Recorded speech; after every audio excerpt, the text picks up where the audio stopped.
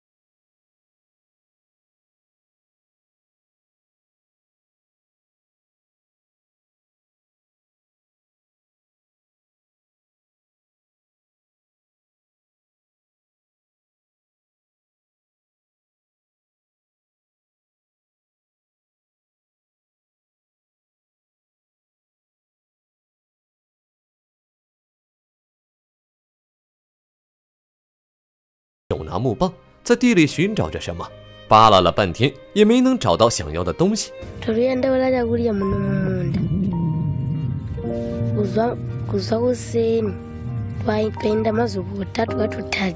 万万没想到，他们已经饿了四天时间，难以想象他们是怎么有力气继续走动寻找食物的。由于太饿，他们手中的木棍就成了两个女孩的食物。没有能吃的粮食，找不到能吃的粮食，也讨不到粮食。这世界似乎一瞬间变得令人绝望无比。两个女孩返回家中，搀扶着爷爷走到屋外晒太阳。扭曲变形的脚布满了因干旱造成的裂纹。女孩们抱来大水盆，将爷爷干裂的脚放进水中清洗。两个孙女乖巧懂事的举动换来了爷爷的一句谢谢。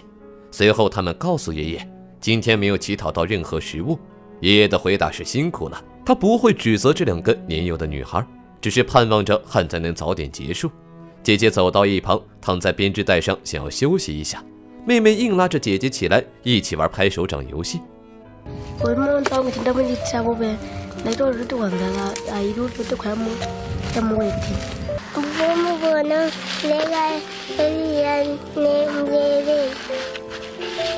游戏带来了短暂的快乐情绪，将饥饿的感觉冲淡了不少。两个女孩笑得很开心。坐在屋檐下的爷爷笑不出来，他想象着自己的身体如果没有生病，现在会是怎样的情形？是不是孩子们就不会挨饿，也不会受苦了？今晚注定是饥饿的夜晚，明天女孩们还会挨饿吗？爷爷跟姐妹都不清楚。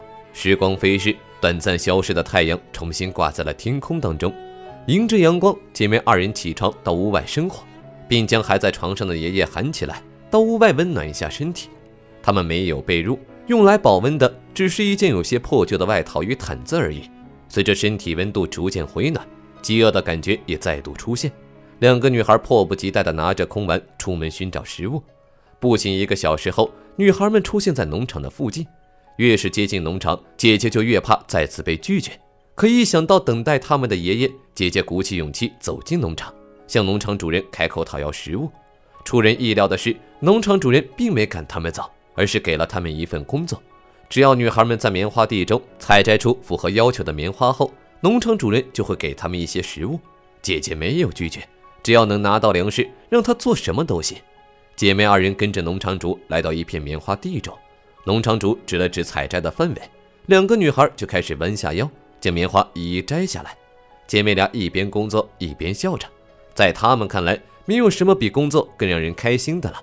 一想到工作结束后能获得一份食物，姐妹二人的手速不由得加快了一些。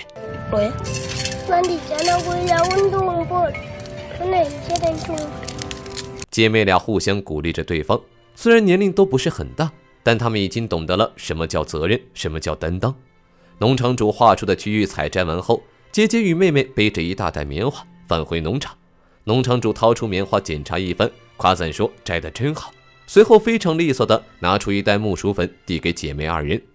终于拿到了食物，姐妹二人喜笑颜开，马不停蹄地朝家的方向走去。自从父母离世以后，饭菜就一直由姐姐来准备。生火架锅烧水，姐姐的动作很是麻利。一小袋的木薯粉，顷刻间就变成了散发香气的木薯糊糊。一旁等待的妹妹忍不住说道：“很快，锅中的木薯糊糊就变成了木薯团。姐姐先盛出来一碗，给爷爷端了过去。剩下的就是姐妹二人的晚饭。木薯团的量不多，孩子们是怀着一颗感恩的心，品尝着这份来之不易的美食。没有吃饱的妹妹一边抱着锅，一边用勺子刮掉粘在锅壁上的木薯。即使发出金属摩擦的声音，妹妹也没停下手头的动作。这是他们四天当中唯一吃到的食物，所以吃得很快。姐姐告诉妹妹要省着点吃，下一顿饭还没着落呢。一旁还在吃饭的爷爷不禁潸然泪下。